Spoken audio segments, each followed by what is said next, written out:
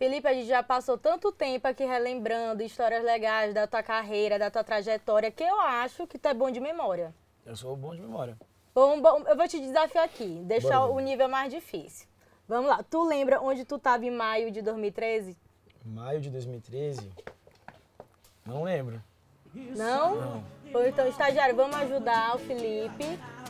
Gostoso e vai E vai no vira, vira e sal Limão, relaxa essa menina Que a gente vai Ó, temos imagens. Isso foi em maio de 2013? Sim. Meu Deus, que cabelo é esse? Meu Deus, o que, que é isso?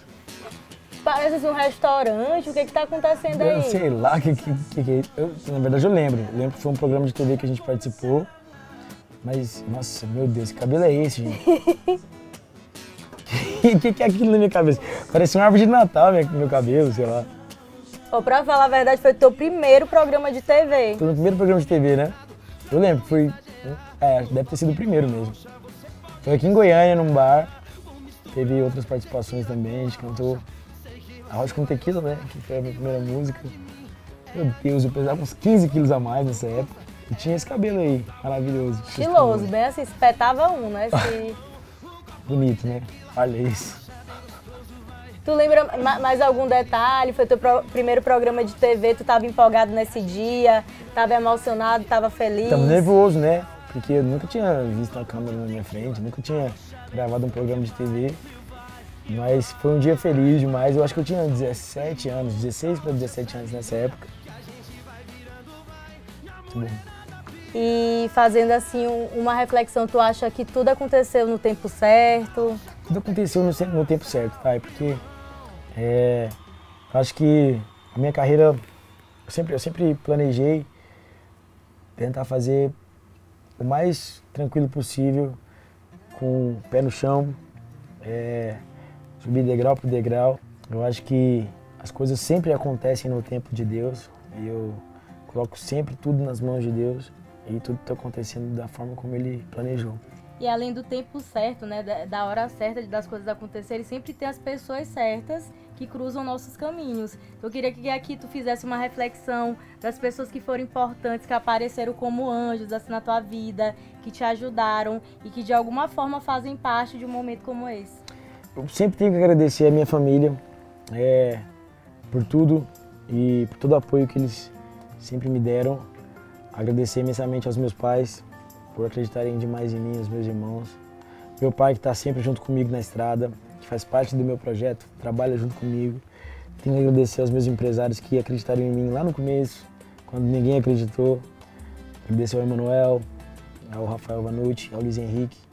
Que, o Luiz Henrique que ele tem um ele tem um, um negócio muito especial assim na minha vida uma cadeira cativa assim no meu coração porque foi o meu primeiro empresário desde quando eu tinha 15 anos. Então ele participou de todos os meus projetos. Tenho que agradecer demais a todos os meus fãs. Agradecer todos os compositores que me ajudaram nessa nessa caminhada.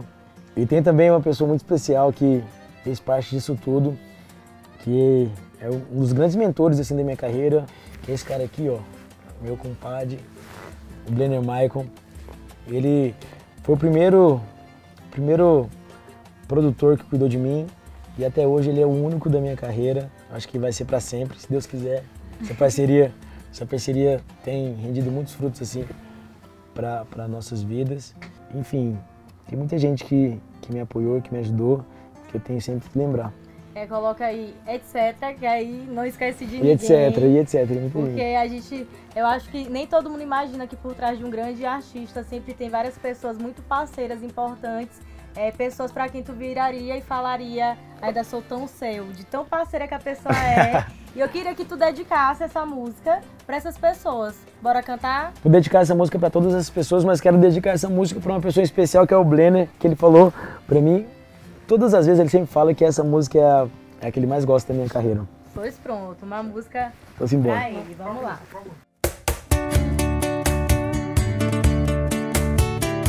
Segura Blenner Michael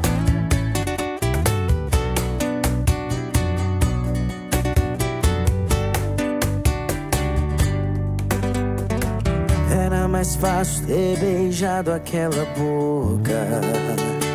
Mais cedo na balada, era mais fácil ter ficado com a minha turma. Só enchendo a cara, por que que eu não quis passar meu telefone pra ninguém? Outra vez, por que que eu corri pro banheiro quando alguém falou seu nome?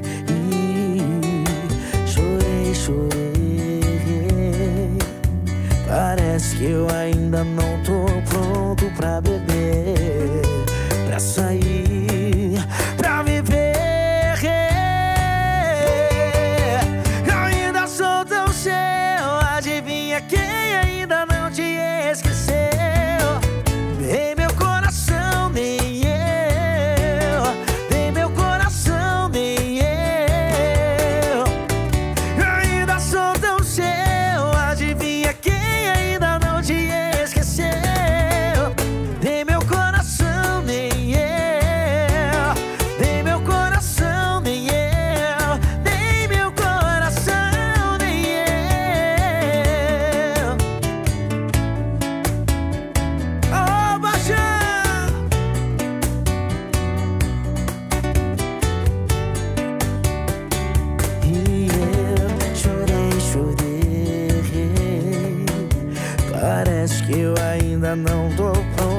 pronto pra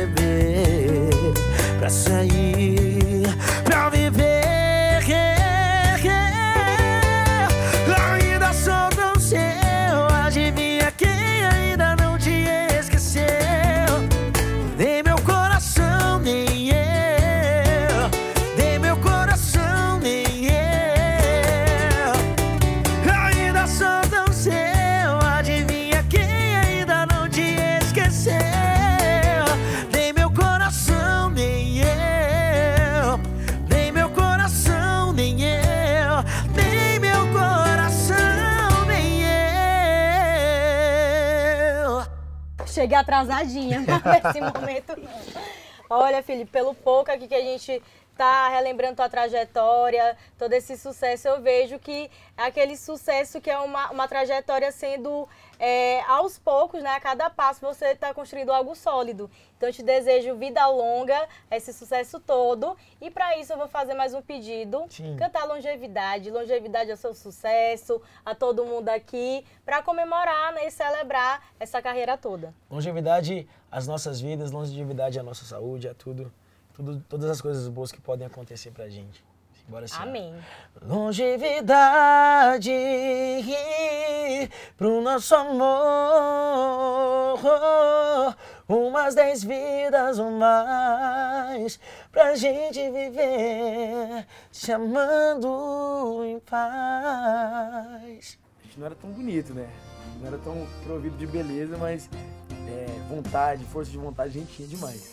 É, não tinha beleza, mas força de vontade tinha muito. Muito. Mas o início é difícil. Mas assim, tem um momento que tu venceu na vida, vamos ver se tu lembra. Tu sabe onde tu tava dia 29 de outubro de 2019? 29 de outubro de 2019. Vai pedir ajuda do Eu estagiário? pedi 29 de outubro de 2019 foi agora. Agora. Não, não lembro. Ô estagiário, vamos ajudar.